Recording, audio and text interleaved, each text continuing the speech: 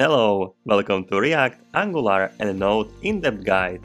You are just about to learn 3 amazing frameworks with over 75 hours of content and 390 lectures.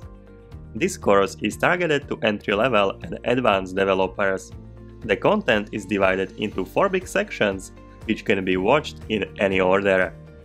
First you are going to learn the basics of programming in Node.js then you can decide which framework you want to start the learning first, React.js or Angular, and program a real-world application connected to Mongo Atlas database. Now, let's take a look how the final application will look like. We will start very easily with Angular and React, in which we will create a layout of our application. I will explain to you how to create basic components, services and reusable code. Later we'll implement routing and state management in our application. We will prepare registration and login forms with fully working validation on each input. A user will be able to register and log in into the application. A logged in user will experience new features and changes in the user interface. After the authentication section, we will work on a functionality to create rental properties. Furthermore, we'll work on a detail page of a rental property in which we will integrate third-party TomTom API. We will implement a feature to display the location of a rental property on a map.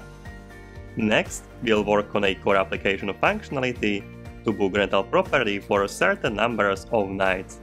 We will integrate interesting features to our application, such as calendar for choosing range of dates, a modal window to confirm bookings, and a toast component to display messages.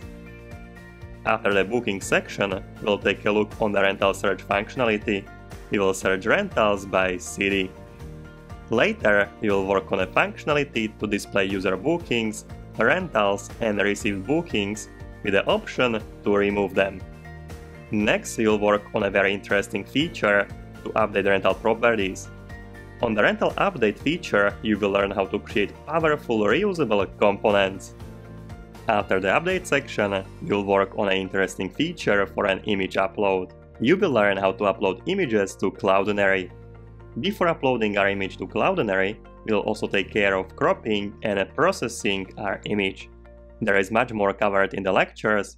I hope you like application we are going to work on, and I hope to see you in the course.